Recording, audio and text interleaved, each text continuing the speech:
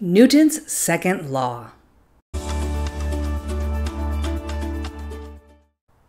Have you ever wondered why some things are easier to move than others? Newton's second law of motion explains it all. Newton's second law tells us that an object's acceleration depends on two things its mass and the force acting on it.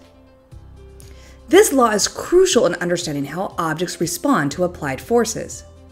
When you apply a force to an object, the object's mass affects how quickly it accelerates.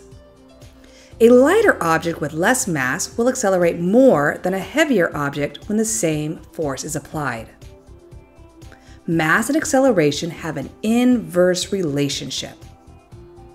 This principle is why a small car accelerates faster than a large truck when the same engine power is used. Not only is it more difficult for a larger mass to start accelerating when using the same force, but it's also more difficult to stop.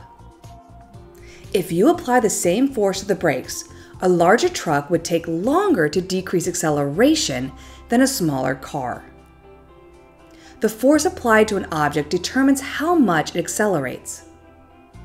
If you increase the force applied to an object, its acceleration will also increase.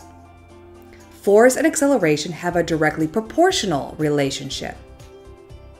Pushing a skateboard with more force will make it accelerate faster than if you push it gently.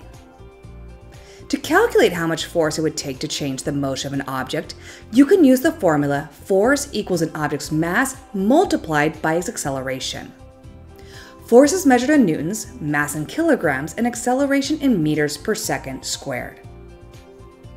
For instance, if a 2 kilogram object accelerates at 3 meters per second squared, the force applied to it would be 6 newtons.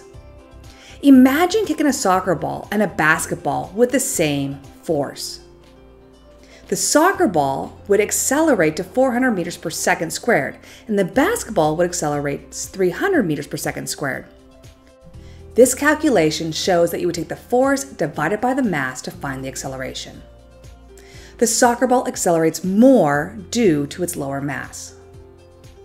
Newton's second law reveals how mass and force impact an object's acceleration, providing essential insights into the physics of motion.